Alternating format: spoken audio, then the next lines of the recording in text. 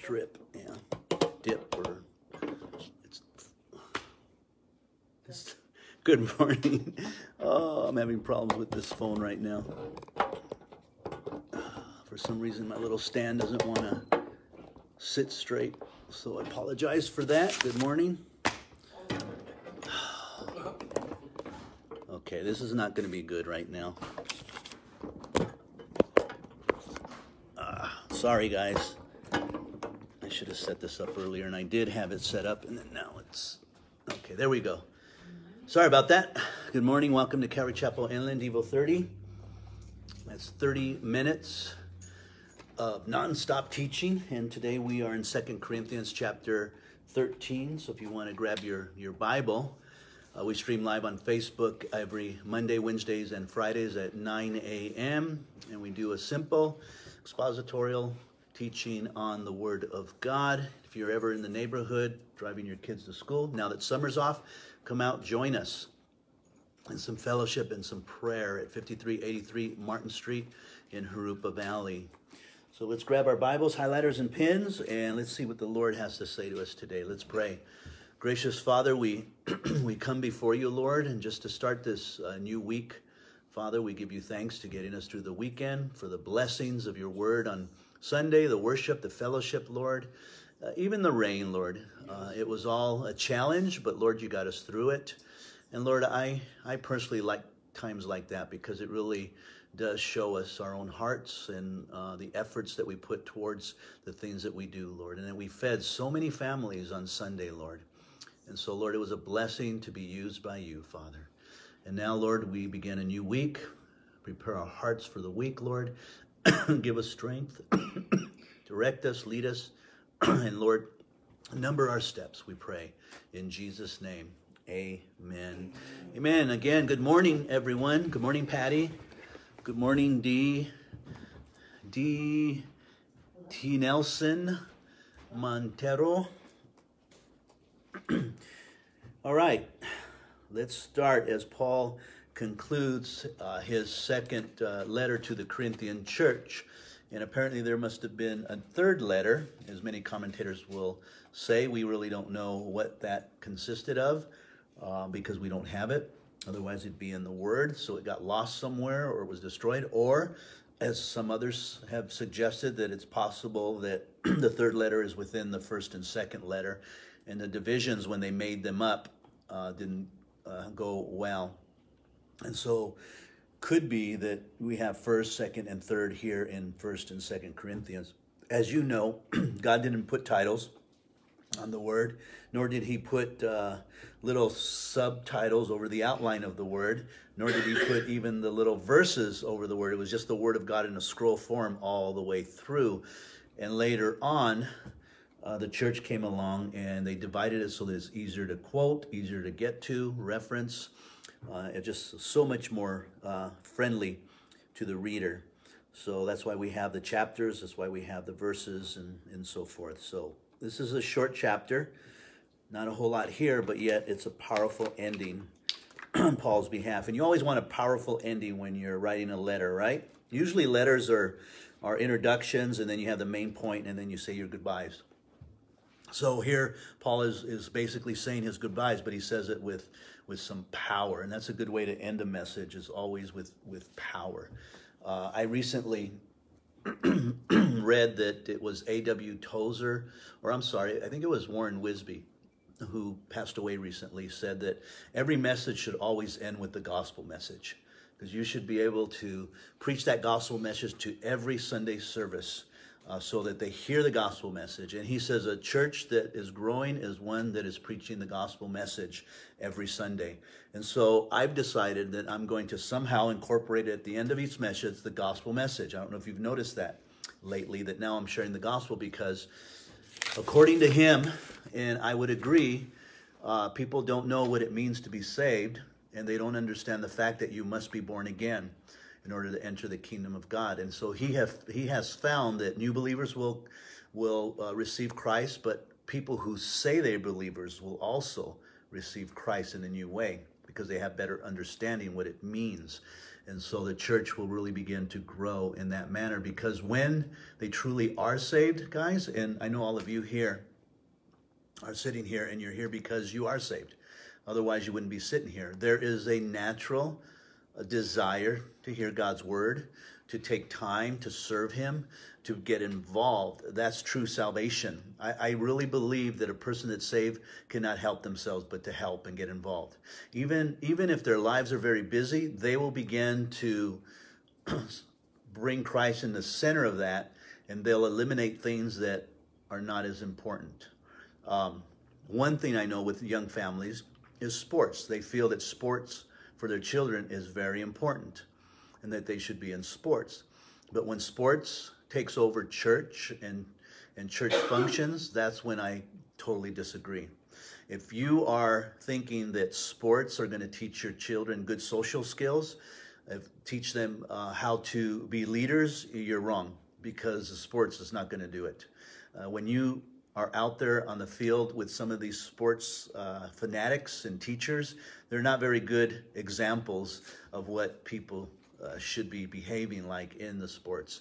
They're not lifting up Christ. It's all about self. uh, and it's not productive. I really don't believe that. But again, I think that if you have a well rounded life and putting Christ first, then other things come in place and it works out a lot better. And I think you'll see uh, a child grow so much more closer to the Lord than not.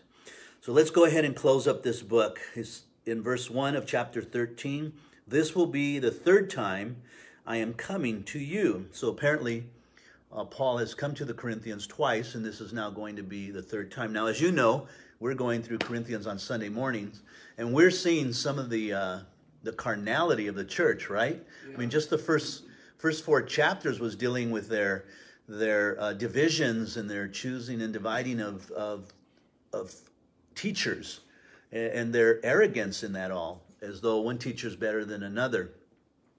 And then we get right into chapter 5 6 and 7 and they're dealing with the sexual immorality within the church itself you know? So it's like where is the good stuff coming? Where are the attaboys? And not a whole lot of that. Um, their willingness to change was there but paul is definitely encouraging them to do that and he does here in this uh, chapter here in Second corinthians so third time now by the mouth of two or three witnesses uh, every word shall be established. Now, that is a, a quote uh, from the Old Testament, and it is dealing, it's, it's a legal quote, and basically what it's saying, and we've kind of uh, uh, mimicked our laws according to the biblical principles that we find in the Old Testament. Our country has created these laws, and one of the laws is there has to be some witnesses, right? you can't just say something happened, and you can't say, I heard something happen, because that's hearsay.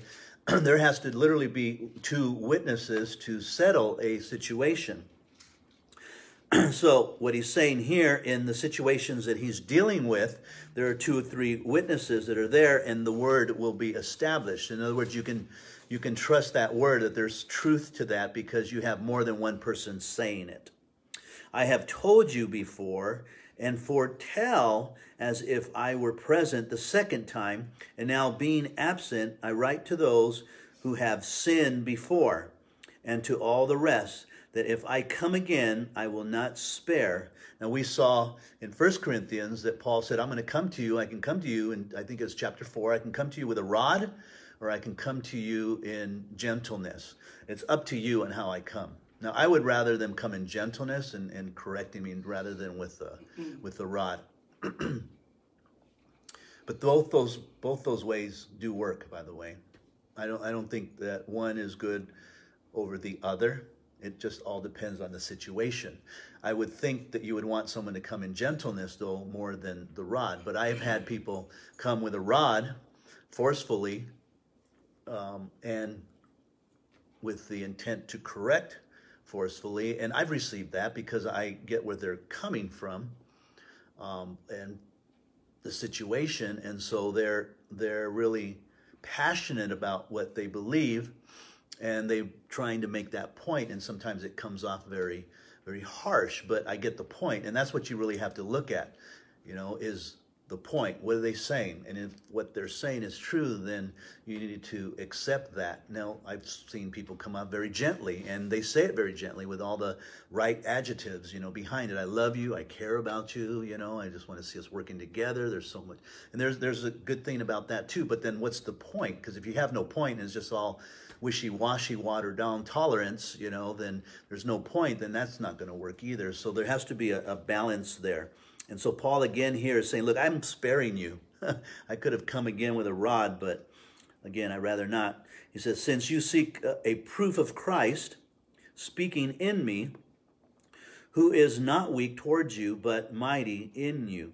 So apparently the Corinthians still were doubting Paul's authority as an apostle, and some of them were desiring some sort of proof that Christ was using him and called him in, in a uh, divine way. And so Paul was not defending that again. And I don't think Paul defends himself. He just shares the truth of what's happening. And so he just tells it like it is and not necessarily because he doesn't have to defend himself. He doesn't have to defend what God has done in his life. It's interesting because we can stand outside of someone and, and look at them and look at their fruit and we can make a decision, say, well, they're anointed of the Lord or they're not anointed of the Lord. Now, usually someone that's just sitting there and doing nothing in and out, you would say they're probably not anointed by the Lord. They're really not doing anything for the Lord. And so they know the Lord. They have a relationship with the Lord, I'm sure. We don't know what's going on at home, but they're definitely not doing anything within the church that you see some anointing upon them. So you can make that judgment call in what you see in inspecting their life. And then you see someone else and you see them working and serving and you're seeing fruit coming forth. People are getting saved or people are ministered to, people are comforted by them, and you see that there's an anointing there. Uh, yet, you don't need to take offense to the fact that someone's questioning your salvation because you should know it more than anyone else, right? Uh, the Apostle Paul could literally say, You weren't there when God blinded me, when I was on the road to kill Christians. You weren't there when he spoke to my ear and I heard him and said, Yes, Lord.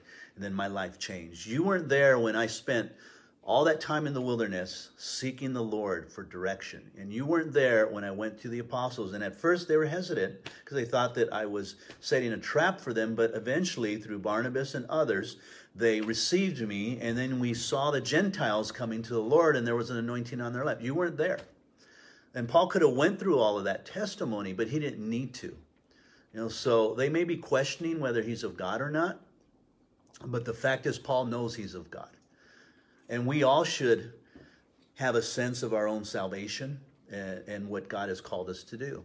I know there's been times in my life where even pastors have said, no, he's not called of God, you know, because of this or that. Or even people within the church because they don't like the way that I teach or the style or the bluntness of my teaching because I don't know any other way but to be blunt and honest and very simple. I just got a comment from someone, uh, and they said, "I love the way you just you dissect each verse and you stick with the text and you just go on." I go, "Yeah, that's because I'm not very smart." yeah. But they like that, where other pastors are very flowery, you know, and, and, they go off on tangents and talk about a specific subject and so forth. And I get that. There's a there's a need for that, definitely in Apollo you know, or a Cephas or, or, or Paul here. But I like doing that. I like just sticking with the word because that's what we're here to learn, right? Is the yes. word and nothing else. And so I would rather just teach the word simply than not. But those people, they'll come up and, and they'll say, you know, uh, I don't think you're anointed of the Lord. But then I look back at my life and I see what happened in my life. They weren't there when God called me. I mean, I didn't desire to be in the ministry. It wasn't something that that I was looking forward to and hoping in and thinking, you know, one day I'll be a pastor, but it was totally the opposite. I didn't want to. But then God began to use me where my pastor got sick. And so now I find myself in a situation where I've got to help out and I've got to run the church for eight months. And God gave me that opportunity to learn the insides of a church and how it functions. Not just the teaching, but there's so much more to it that people don't understand. And so people aren't there when they when I went through all of that and I saw God's calling and one by by dragging more than anything else because I was like a Jonah. Lord, I don't want to do this. You know, I have a great job. I don't need to do this, but yet mm-hmm. God called me to do it. I remember a situation that arose and I didn't want to deal with it. I thought that was between them and the pastor, and so I was trying to stay out of it. And God says, You're a shepherd just as much as the pastor is. And though you're an assistant pastor, you're still a shepherd to my people. And I'm like, Okay, Lord, thank you. I've got to get involved. And I did. Of course, it didn't go well, but that's the calling that I have, you know? So Paul here is saying, look, you guys want some evidence um, of my apostleship. And then he goes on, for though he was crucified in weakness, yet he lives by the power of God. For we also are weak in him, but we shall live with him by the power of God towards you. Now, again, he says the evidence is in the power of God. And ultimately, it has to be in the power of God. And, and our ability comes from God, and the fruit is from God, and it's not from us or our flesh. And then he goes on and he says this great, profound thing. And I love this chapter because of this. He says, Examine yourselves as to whether you are in the faith, prove yourselves. Do you not know yourselves that Jesus Christ is in you, unless indeed you are disqualified? I love this this little verse here. There's so much here. Examine yourselves as to whether you're in the faith or not. That's the first step that every one of us should be examining our own selves, not someone else.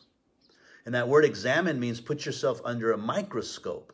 I don't know if you remember in school when you had to dissect a frog. I remember those days when they, they had us dissect frogs and then put the tissue under a microscope. And a microscope does what? It amplifies, depends on, on the amplification, whether it's a thousand, you know, or 500. You see the tissue, you see within the tissue, then you start seeing cells within the blood itself. Uh, that's the word that Paul uses here. You need to examine yourself. You need to get that magnifying glass and stand under it and put it up to about 10,000 times and see where your heart really is. But see, immediately we get offensive and immediately we, we start pointing fingers. We get, uh, we begin to get rational. And, and I remember just talking with someone uh, recently and, and, and they were going through something and, and they said, yeah, and even so-and-so agreed with me. And I said, you like that, right? Because they agreed with you. Well, yeah. I go, well, just because they agree doesn't mean that you're right. And you have to even be careful of that. Just because you have people agreeing with you doesn't mean you're right. So you have to examine yourself in light of the scriptures and, and, see whether you're in the faith or not. Are you in the faith? Are you acting like a child? Are you loving more others than yourself? Are you sacrificing? Are you taking the hurt? Those are all biblical truths. You know, if obviously they're coming against God, then are you standing up for Christ? Are you sharing the gospel for Christ? So examine yourself. And it, he uses the word prove yourself. And, and that word prove is under pressure. You know, proving yourself in the heat of the battle, in the heat of the situation, you prove yourself that you are on the right side.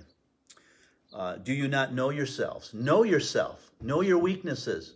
Know your flaws. Know your strengths. Know who you are in Christ uh, those are areas that you, you need to know. Um, I was just sharing with uh, my brother David Zamora. We were on the phone for a couple hours, it seems like. And um, he had a hard message he gave yesterday. And I told him, yeah, my message was pretty hard too. I didn't even share half of what I probably should have shared, but that message was hard. You know, the, the Corinthian church dealing with someone sitting in the church and that sexual immorality, because that's an area that that has been a struggle for me.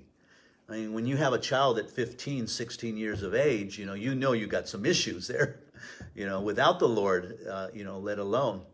But uh, yeah, that's always been an issue. So it's a, a hard thing. He goes, yeah, sometimes as pastors, you know, we've got to give messages when we're dealing with things. Yeah, but we're called to set ourselves aside and preach the truth, you know?